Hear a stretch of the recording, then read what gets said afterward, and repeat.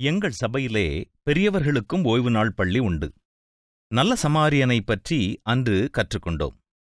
ஒரு நர்ஸ் காயம்பட்ட ஒரு மனிதனை தாண்டிச் செல்வதை குறித்து தன்னால் எண்ணிப் பார்க்கவும் முடியாது என்று கூறினார்கள். அந்த நர்ஸ் அன்று மதியம் வீட்டில் சமைக்கவில்லை.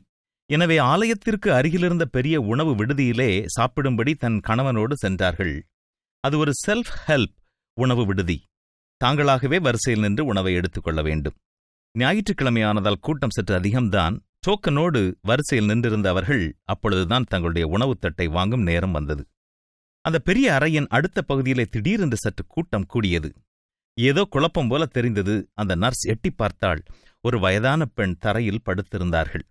அறையின் மத்தியிலே ஓடி வந்த ஒரு சர்வர் டாக்டர் அல்லது நர்ஸ் யாராவது இருக்கிறார்களா? என்று குரல் எழுப்பினான். பல்வேறு எண்ணங்கள் மனதிலே தோன்ற தன் கைப்பையோடு நின்று கொண்டிருந்தாள் அந்த நர்ஸ். ஆம்புலன்ஸ் இன்னும் சில நிமிடங்களிலே வந்துவிடும். நான் உதவி செய்யப் போய் ஏதாவது தவறாக செய்துவிடக்கூடாது என்ற பயம் ஒருபுறம் அன்று படித்த நல்ல சமாரியன் பகுதியில் திறந்த புத்தகம் அப்படியே அவள் பையை விட்டு வெளியே நீட்டிக் கொண்டிருந்தது.